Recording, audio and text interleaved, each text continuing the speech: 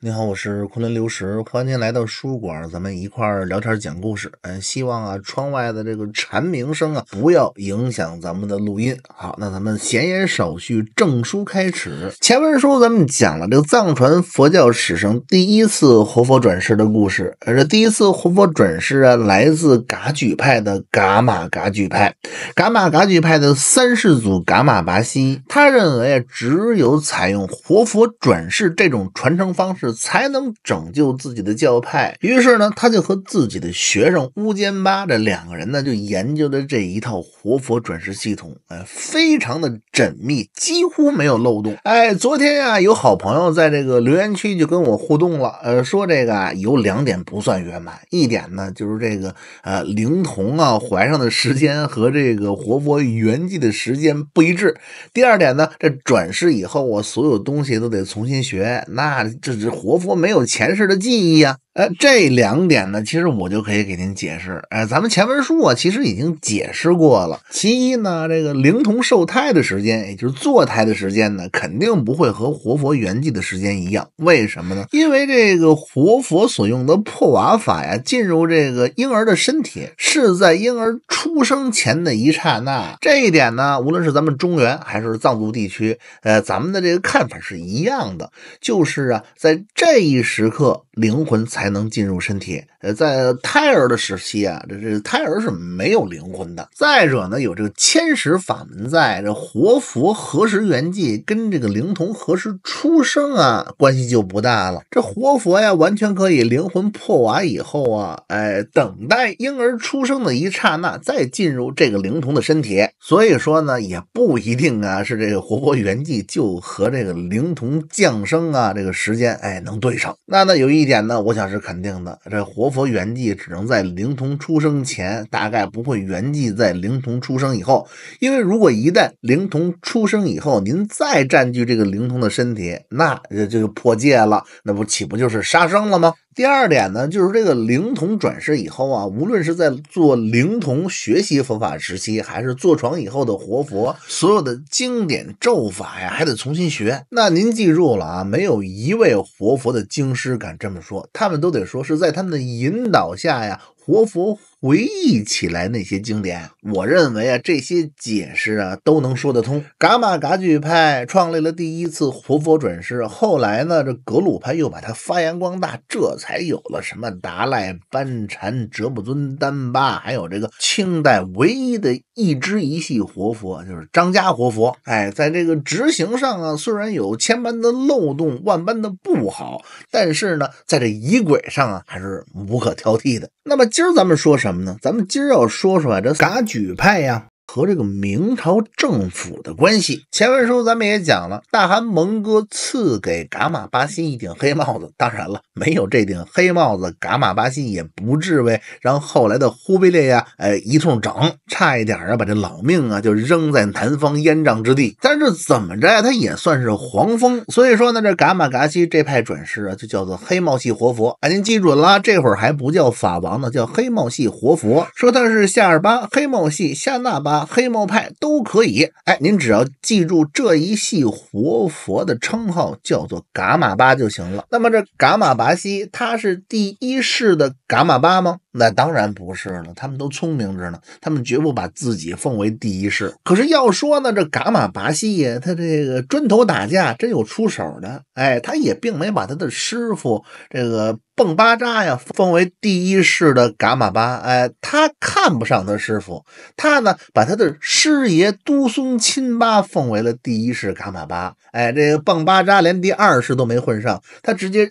称自己为第二世的噶玛巴，哎，就在那会儿啊，这噶举派啊，这上师们呢都有一个毛病，就是棺子里伸手死要钱，想跟他们学点门啊，那人填大坑一样。所以我想啊，这师徒关系啊也没有太好的估计。噶玛巴西哎，创立了这个活佛转世系统，他圆寂以后八年啊，找上门来那个灵童叫做让囧多吉，那当然了，就是三世噶玛巴。三世噶玛巴没有什么故事可讲，直接咱们跳到。四世，其实呢，这四世祖啊，这个能讲的故事也不多，但是他有一件事情您得知道，四世祖的名字叫汝必多吉。这汝必多吉呀，哎，在公元的一三五八年，他受这个元顺帝的邀请啊，到北京去干嘛呢？哎，挺不正经的，咱们一会儿再说。但是在路上啊，他有一件故事，我们必须得知道，因为他在青海的时候啊，哎，他遇到了一个小孩这个小孩才三岁，他见这个小孩慧根颇深，于是啊，就到了他的家中，给他授了五戒。哎，是哪五戒呢？那自然就是杀盗淫妄酒。你在家之人不出家呀，你就先受这五戒就行了。那这已经是很牛了。一个三岁的小孩，为什么这大活佛跑到人家家去给人受戒呢？哎，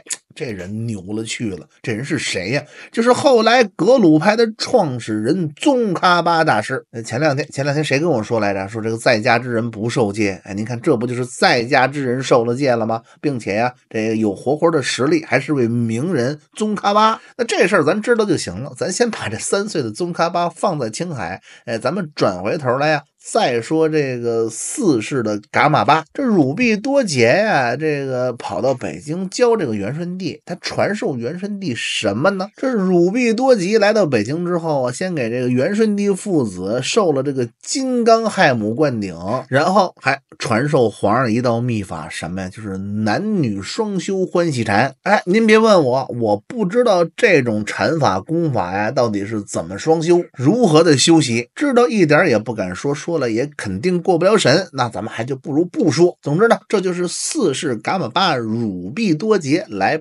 北京的用意，哎，也是有史以来第一次有这个喇嘛传授皇帝这路玩意儿。原来有没有？不知道，反正没有记录。那么说呢，这时光荏苒，岁月如梭，历史既然是有轨迹的，那呲楞仓，那哎，从元朝就到明朝了。都知道啊，这明朝的皇帝信道，实际上呢，这明朝的皇帝多处是向佛的。您别忘了，他们的祖宗家朱元璋原来的是个出家，是个和。尚，和尚呢也不一定是好和尚，哎，他很有可能啊是个白莲教的和尚，哎，他不是世门的庙，它是教门的庙。哎，这种庙现在还有，天津蓟州区啊，有一个叫岐山蓝水洞的庙，您可以去看看，那儿就不是士门的庙，那就是教门的庙，那是礼教的庙。他对外怎么宣称，咱们不知道，您去看看去吧。那儿的这个佛像壁画啊，和普通禅宗寺庙里的壁画塑像是不一样的。哎，可是啊，咱话又说回来了，呃，这佛不亲呢，庙亲；庙不亲，和尚亲。哎，这朱元璋必定当过和尚尚，所以呢，这明朝的皇帝啊，还是很亲这个藏传佛教的。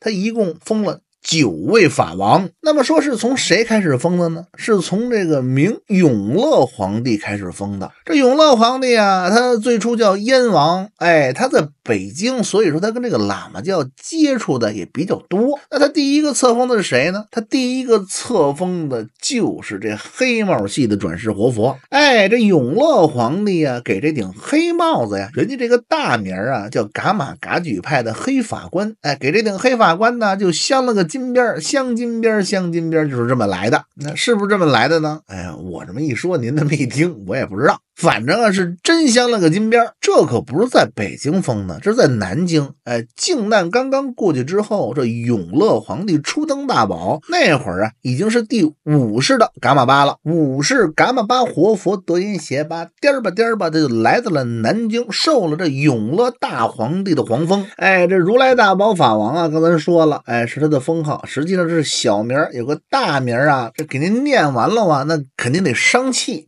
哎，那位说了，怎么还得念呢？说书不得背吗？背不下来，哎，就得念。哎，这念完了以后啊，您要是听我以后再给您说书啊，咳咳老咳嗽，那肯定啊是给您念这个封号啊，我伤了气了。那有好朋友呢，呃，东北的尤其是啊，听着我这书啊说的挺卖力气，那您赶紧您想办法给我寄个十斤八斤人参来，让我补补气，好以后再继续的给您说书。得嘞，不开玩笑，我现在就给您念念啊，这。大宝法王的全称：万行具足，十方最胜，圆觉妙智，会善会圣，佑国演教如来，大宝法王，西天大善自在佛，领天下释教。所以说，您看了没有？不但是大宝法王，而且呀，还是西天自在佛，还得管着天下的所有和尚。哎，咱们这儿得插一句，那为什么这个明朝政府选择了噶玛噶举派呢？我们都知道啊，这个元朝政府啊，选择的是萨迦派。这萨迦派啊，在最初国师八斯巴的带领下，现在在西藏地区已经混的是风生水起了。那换句现代话而言，这明朝如果选择了萨迦派，那多有这群众基础啊！可是啊，这明朝的皇上他鸡贼着呢，他不是这么想的，是因为这萨迦派在西藏啊，他太根深蒂固了。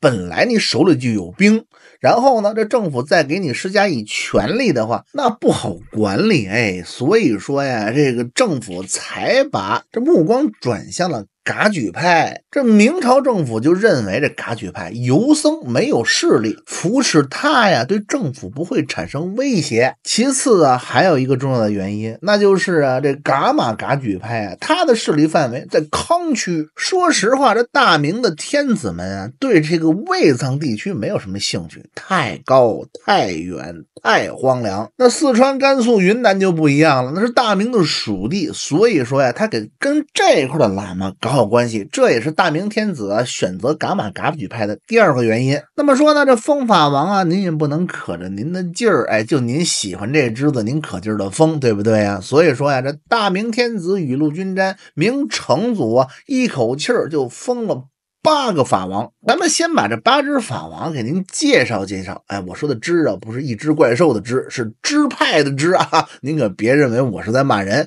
这。八只法王呢？啊，其中有三大法王，这三大法王啊，就是大宝法王、大成法王、大慈法王。之后再封的五个呀，那就是王了，就不能称之为大了。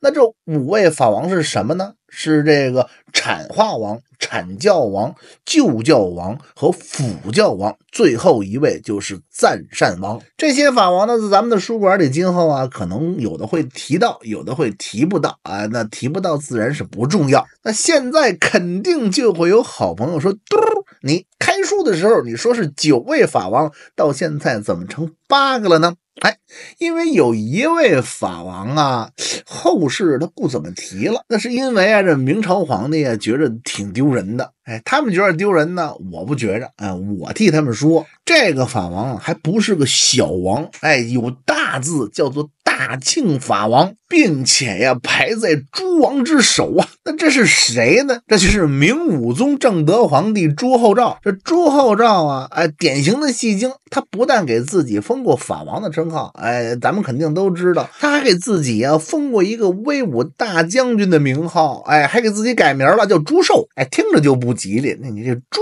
姓朱怎么能叫寿呢？姓朱怎么也得叫肥呀？这明朝皇上啊，后世啊都觉得自个儿。这祖宗明武宗宗啊，哎，有点神经病。所以说呢，他死了以后啊，这个大庆法王这称号就没什么人提了。